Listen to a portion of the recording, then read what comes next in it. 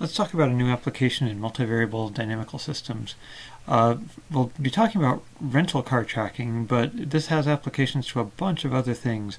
Uh, for example, um, people with kidney infections might be, need to be in the hospital for a few days and then go home. Hopefully they'll be there for a month or two and then might need to go back to the hospital for a few days, which is kind of like rental cars staying on the lot and then going off the lot being rented. Uh, you can look at this as like the chemical concentration inside and outside of a biological cell or moving across any membrane. You can look at it as animals moving from one region to another. Uh, lots of different ways to look at this, but business is important too, so let's think about tracking rental cars. Let's say we're managing just one facility and they have 100 rental cars and each one is either here on the parking lot ready to be rented or it's rented and running around town. Um, we're going to do time steps day by day. We'll say H is the number of cars here uh, at the start of the day, and R is the number of cars that are currently rented, not available to be newly rented. And let's say our long-term statistics show us that 60% of the cars that are here today will still be here tomorrow. And 30% of the cars that are rented today will be back here at, the, at the, our parking lot tomorrow. So how are we going to set up a system to predict how many cars will be here day by day? So unlike most of what we've been doing so far where we were finding an equation for delta for the change, in this system it's actually easier to compute it um, just the new value directly from the old value. So we said that um, tomorrow's cars, uh, so 60% of today's cars that are here will still be here tomorrow. So however many are here today, 60% of those will be among those here tomorrow. And we said that 30% of the cars that are out today, that are rented, will be back here tomorrow. So there's that 30% of the cars that are currently rented will be here on the parking lot tomorrow. So take a second, think about what numbers need to go here for the number of cars that are out rented tomorrow. Pause the video and think about that. Three, two, one, pause. Okay, welcome back from pausing. Um, so the number that needs to go here, well, if 60% of the cars that are here stay here, the other 40% must be going out tomorrow.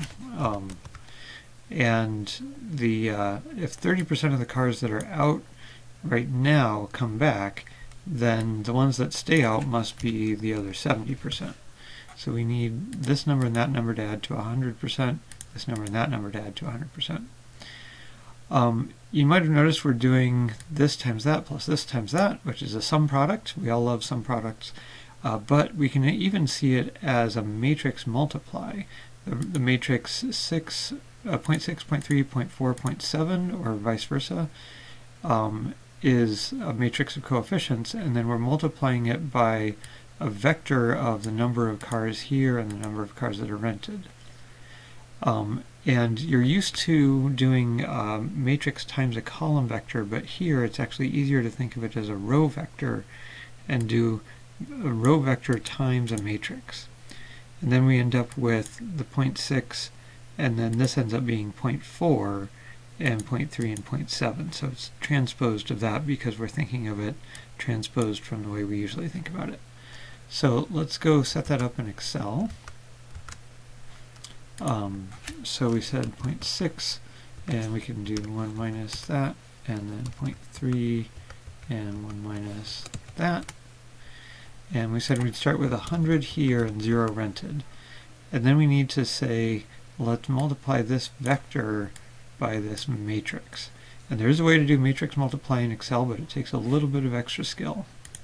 But a good way to think about that is it's a new skill. So let's go back and look at that new skill, we're going to use mmult, and you give it the first thing in the matrix multiply or vector and the second thing.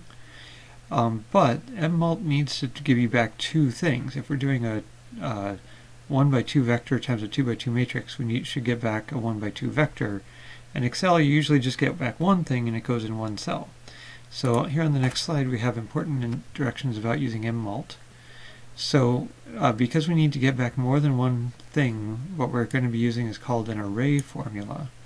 We start by highlighting where we want all the results to go, and then we type mmult, but we don't just press enter, we need to enter this as an array formula, And to do that, you hold down Control and Shift, and then press Enter. You don't have to press them all simultaneously exactly at the same time. You can hold down Control and Shift, and then a second or whatever later, you can also press Enter. Um, and if you make a mistake, you have to basically start all over again. You can't just change it. So let's go do that.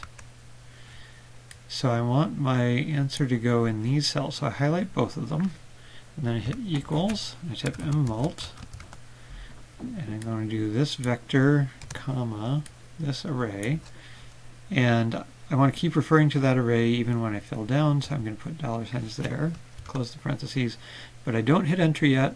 I hold down control and shift, and then press enter. So let me show the formula here. It looks ordinary, but if I look up at the formula bar, I can see curly braces around the whole formula, and that's how you know that it's an array formula. If I try to just delete this part of it, it complains and says you can't change part of an array. Or if I try to change just that part, you can't change part of an array. If I highlight the whole thing and hit delete, then it works. Uh, I'm going to hit undo though. So that's how to do mmult there, and once you have that filled in, you can just double click to fill down as usual, and then each of these will be its own array formula. Alright, so what's left to do on this problem? What do you think? Hopefully you said graph it, so let's graph it. I've got 30 days planned out here. Um, let's use that. Um, and we'll switch to a layout with titles and give things good titles. Um, and this is number of cars. Um, let's try that one again. Alright, so what do you observe about this graph? We'll come back to that in the next video.